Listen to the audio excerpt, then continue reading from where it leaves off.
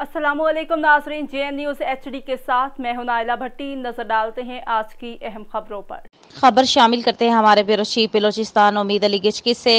पाक सरजमीन पार्टी के मरकजी रहनुमा मीर अकरम बलोच आवारानी ने मीडिया से बातचीत करते हुए कहा कि वफाक से सैलाब जदगान के लिए आए हुए दस अरब रुपए वज़ीर अब्दुल कदूस ने करप्शन की नज़र कर दिए सैलाब जदगान को एक टके का भी रिलीफ नहीं मिला। उन्होंने मजीद कहा कि जिला आवारान के लिए दस लाख तीस हज़ार डोजर के घंटे मंजूर हुए, लेकिन डोजर की बजाय रूसी ट्रैक्टर्स देने का वादा किया गया।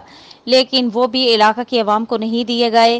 डोजर के इस्तेमाल पर करोड़ों रुपए का करप्शन किया गया। नैब और एंटी करप्शन के इदारों की खामोशी समझ से बालातर है। Chief of army staff, chief justice of Pakistan वज़ीर अजम पाकिस्तान वज़ीर अब्दुल कद्दूस बजंजो की इस करप्शन का नोटिस लें।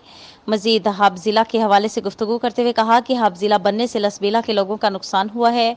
हब एक सनती शहर है जिसे लसबेला के लोगों को लोकल का इशू बनाकर नज़रअंदाज किया जाएगा। जब ज़िला को ख़त्म किया जाए, या डिवीज़न सतह पर लोकल सर्टिफिकेट बनाए जाएँ, जिससे लसबेला के लोग भी मुस्तफ़ हो सकें।